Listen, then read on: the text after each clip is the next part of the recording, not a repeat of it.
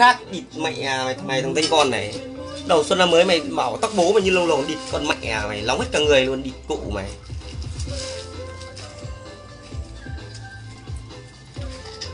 mọi người thấy bảng lên livestream hay gì bảng điện toàn gửi gắm những lời yêu thương đến đến mọi người ý. toàn những cái lời vui vẻ toàn những cái những cái lời chúc chức chào nhau vui vẻ chứ có phải là, là bao giờ bảnh chửi nhau hay là gì như một một số thành phần đâu mà nó cứ nó vào mùng ba tết bảnh lên bảnh chúc tết nó nó, nó lại bảo nhìn tóc bảnh như lồng lồn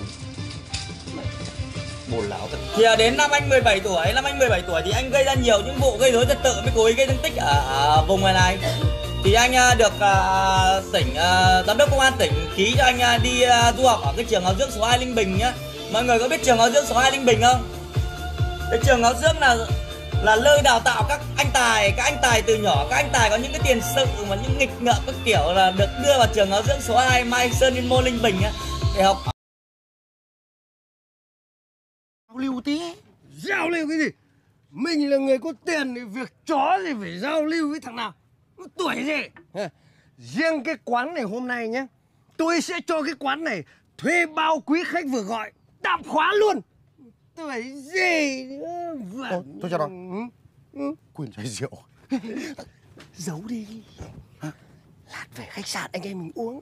Nhưng mà nhỡ Nhớ cái gì? Hả Mình là người có tiền thì việc chó thì phải sợ nhớ Hả Tuổi gì. Ngồi đây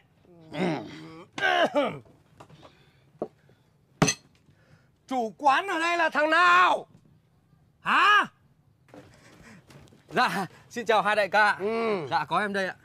Cô cô cô cô Dạ.